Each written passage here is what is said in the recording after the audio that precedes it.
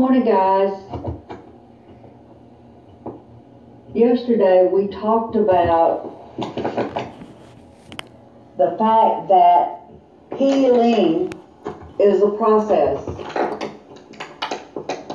And that we can have a tendency to focus on the process rather than the processor or the Word or Jesus. Uh, and if we focus on the process,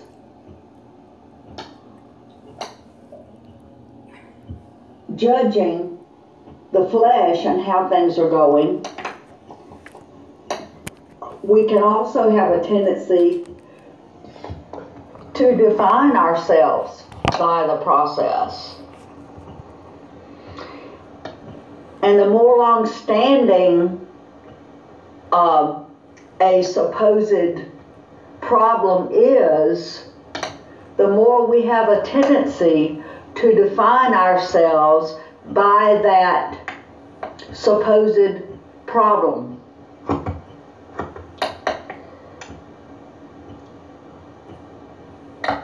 And the more we have a tendency to define others by uh, things in the flesh.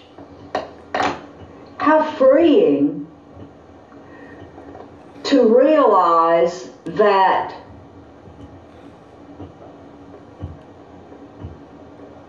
what we feel and see is not who we are.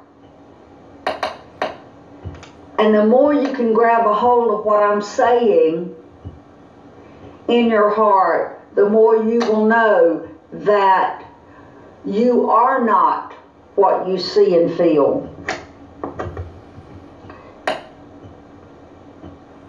If it looks like there are shortcomings in your life, if it looks like there are shortcomings in your body, whatever it may be, that is not you. You is, just trying to get the point across, no, that's bad grammar. You is what the Word says you are. I'll use that example in my life that means so much to me. Seems like it was a minor thing, but not to me. I'm going to share it with you again. Several years ago, it looked like I had the flu. It felt like I had the flu. And I woke up one morning, and my first thought was, oh, I feel better. And when I said that, the Holy Spirit said, You're not just better, you're healed.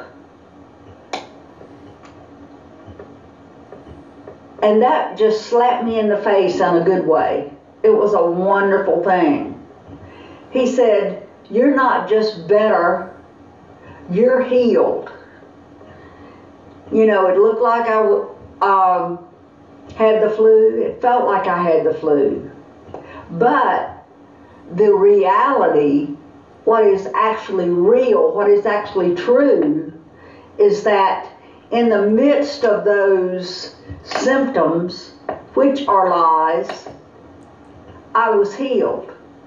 Healed, whole, saved, complete by what God wrought in Jesus Christ when he raised him from the dead complete, whole, saved. And that is a tremendous revelation because when it is revealed to you in your heart, it's alive. And when it's alive in your heart, you live from it. That's why you. That's why um, the focus should be on the heart protecting the heart because that's where the life issues from is the heart.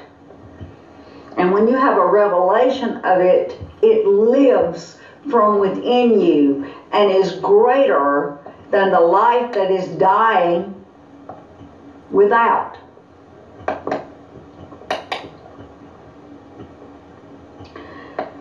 So it's truly an amazing thing, and and it's um, all the more reason for us not to pay attention to the flesh, and more importantly, not to define ourselves by the flesh.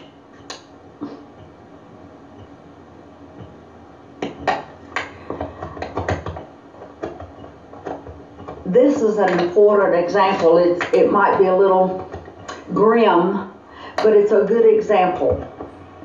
I don't know if you've ever had the misfortune to watch someone pass. I have a couple of times. And you see and understand in a way maybe you couldn't before. That the real person, once they pass, the real person, the spirit and the soul that makes up that person, once they pass, that is gone. And all you're left with is dead flesh. That's not the person. That's not the person at all. Um, but I, I'm not trying to be grim. I'm just trying to illustrate a point that the real us is that spirit and soul that defines us. And the life in the heart of us issuing forth is who we are, not what we see, not what we feel. The more we can come to a realization of that via the Word, the more we will focus on who we really are and the life of who we really are. And the life in our hearts of who we really are according to what the Word says will supplant the life of circumstances to the contrary.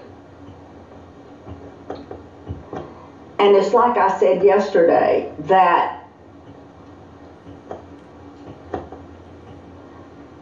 yes, healing whether it be physical or whatever kind of healing, any kind of healing you need, is a process, but it is a process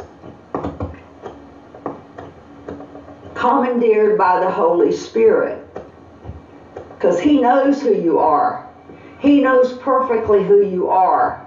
And He knows how to get that over to you.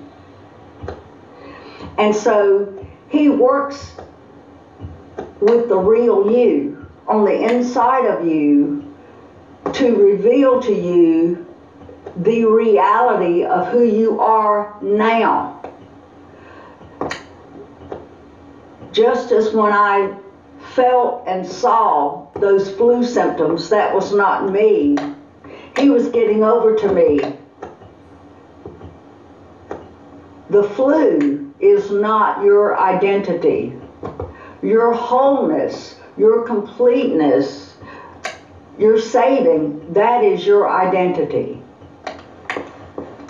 And so he does this, the Holy Spirit does this work on the inside of us. It's effortless for us. And to be quite honest, he's it's effortless for him.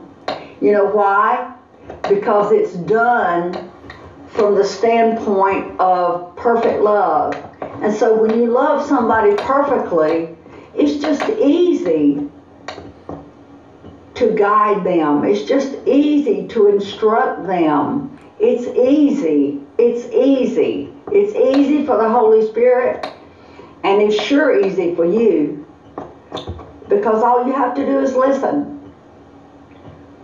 with a hearing heart, knowing that He's coming at you from perfect love, and that as you listen, He's transforming you from the inside out. He's transforming you from the inside out because you be who the Word of God says you be. And He is instructing you that you be that. No matter what you feel, no matter what you see, as in the example of my supposed flu, you be right now what the Word of God says you be.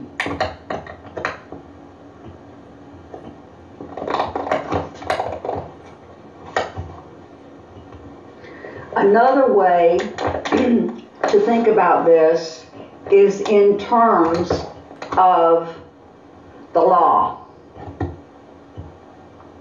The word says that the law is pure and perfect and holy. but man could not satisfy the law because the law is weak through the flesh, the word says. But God, sending his Son in the likeness of sinful flesh, condemned sin in the flesh.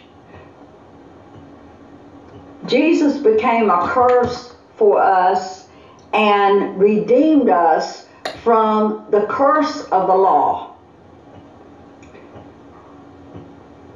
But the law, as it was intended, is pure and perfect and holy. And so Jesus, by fulfilling that law, only made us subject to what is pure and perfect and holy. He fulfilled the law. Now there, the law cannot be against someone who knows that. He fulfilled the law And now we're only subject to the righteousness of the law because the law is pure and perfect and holy.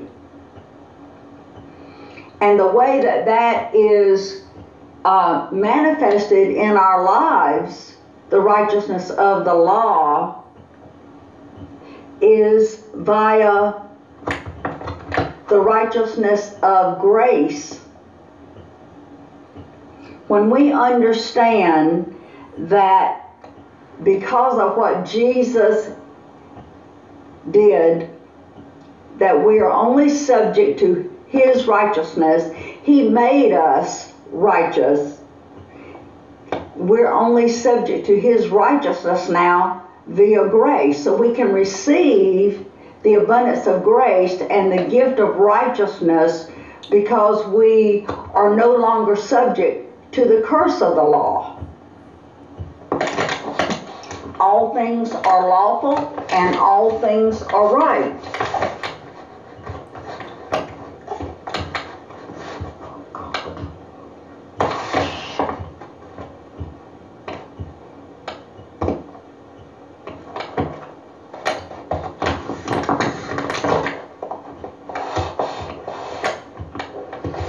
All things are lawful and all things are right.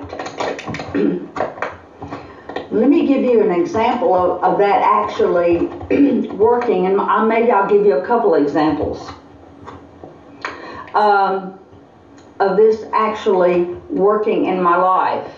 You know, I had been studying the Word of God in terms of righteousness, and um, if you if you notice, uh, righteousness and evil are exact opposites of one another. In other words, evil are trying to produce righteousness uh, in and of yourself you can't do because uh, it's weak through the flesh. But, in other words, trying to produce right in and of yourself is evil. And anything that goes against the purity and the perfection and the love of the Word of God is evil. Anything that comes against you that is not a product of love, of pure love, is evil. So, understanding that, you can say, because of what God wrought in Jesus Christ, no evil for me, thank you very much. Because um, I'm not subject to that anymore because of what God wrought in Jesus Christ. And so, um, if something would come up uh, that looked like it might be a potential problem, I would just say to myself, no evil, no evil. And it became a habitual thing. And one day, I was paying bills online, and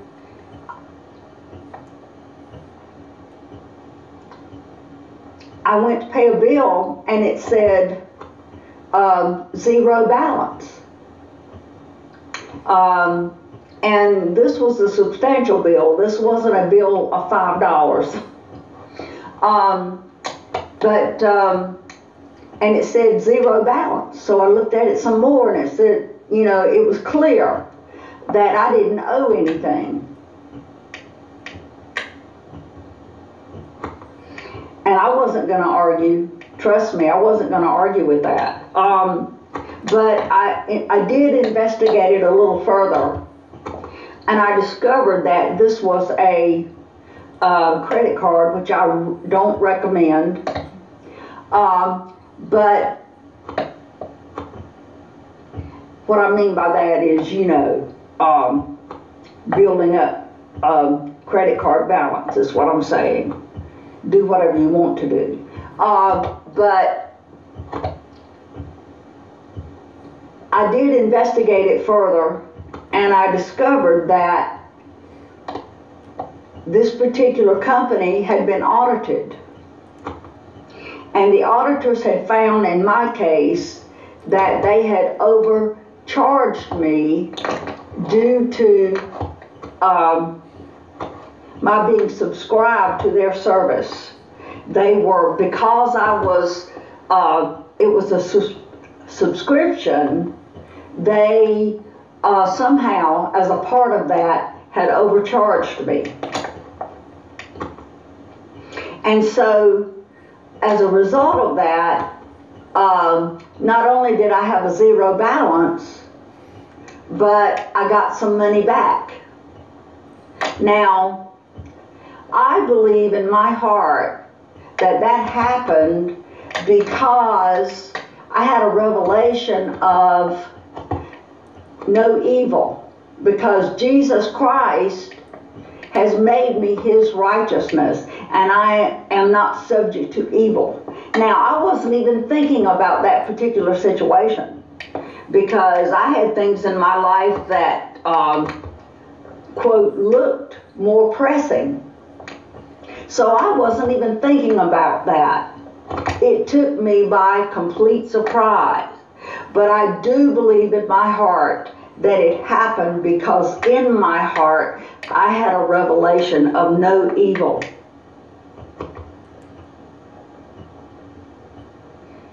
Now, another example, which is near and dear to my heart, is one that happened uh, many years ago. Uh, I there was this job I wanted, and I applied for it. And I don't I don't usually go around saying, well, the devil said, but in this case, he did. He said, You know, you're not going to get that job because of this or that or the other. And he laid out a case of, uh, of the things where I would not get that job. But then, just as he said that, the Holy Spirit said to me, But what about where I said, I execute my righteousness for those that are oppressed? And I said, Okay, I'll take that. And several days later, the company called me and offered me the job. Now, there's a lot going on here. His righteousness and His word and His truth are one. So when it says He executes His righteousness, what He is doing is He is manifesting His word in your life in the here and now. Um, now, he's already executed his righteousness fully when he spoke it. Because all the Father has to do is speak it, and it's done, let me tell you. And by the way, it's the same for us. When we have a revelation of what we're speaking, it's done. It's done, done, and done. But anyway, um, so I said, okay, I'll take that. And they offered me the job. And I had the opportunity to, uh, for it to be revealed to me sometime later what was actually going on and what um, the Lord had to do to get me that job because uh, I had a conversation with one of the people that were involved in making the decision many months later. And she said, You know, we had misgivings about giving you this job because of this or that or, or whatever. But um, anyway, so the Holy Spirit was just showing me what He had to overcome uh, in order to give me that job. Now, there was nothing against me in terms of receiving that job because the law having been fulfilled, there was nothing against me. It looked like there was, Maybe it even felt like there was. But, but in reality, because of what Christ has made me, His righteousness, His holiness, there's nothing against me. There's no curse against me. And so, uh, when the Lord manifest his word, His righteousness in my life, in lieu of what it looks like there is against me, all He is doing is manifesting the Word that reigns, the righteousness that reigns, the life that reigns. And that's another example of the manifestation of His righteousness because now that's all I'm subject to. All things are lawful, all things are right, even when they don't look right, even when they don't feel right. And you know what? Because you have that revelation, you don't have to look for the evidence because the evidence, the life is in your heart, and you will live for that. You will live from that and evidence to the contrary will just die because evidence to the contrary is just a life that's dying. So I just wanted to encourage you this morning, talking about righteousness, talking about all things being lawful, all things being right, talking about that because the word is true, and perfect and whole. We don't have to look at the process, we can look at the processor, which is the Word of God, the living Spirit of God. So I went on a little long this morning, but I hope it blesses you because it really blesses me. And I'll talk to you later. Bye.